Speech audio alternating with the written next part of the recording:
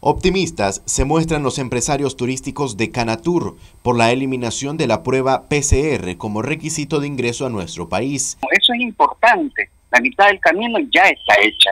O sea, ya hemos logrado de que eh, al suspender la prueba PCR y eh, pasarla requerimiento o la tarjeta de vacunación completa, pues eso implica de que eh, ya está la mitad del camino hecho. Ahora solo faltan ya los requerimientos técnicos que le faciliten a las líneas aéreas bajar su, su precio de los boletos y además operar con mayor efectividad.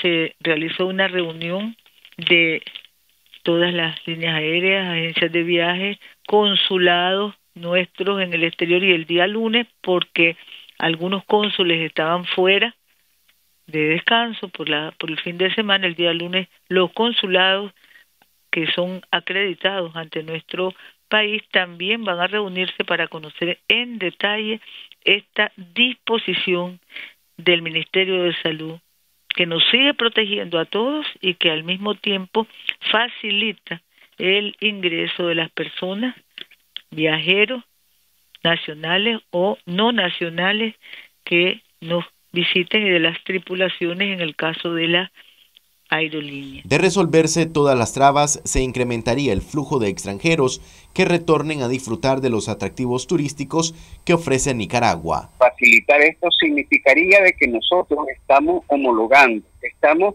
haciendo que en Centroamérica, los países de la región, Centroamérica y República Dominicana, estamos unificando los criterios tanto para las líneas aéreas, tanto para eh, los requerimientos y las medidas de bioseguridad.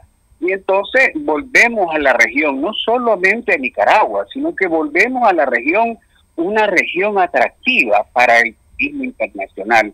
Así el que viene, por ejemplo, de, de Europa hacia América, pues tendrá un mayor tiempo y mayor área que visitar. ¿Por qué? Porque todos tienen homologadas sus requerimientos, sus medidas de bioseguridad y las líneas aéreas pues también se les facilita dar eh, eh, su servicio de transporte. Marcos Medina, Noticias 12.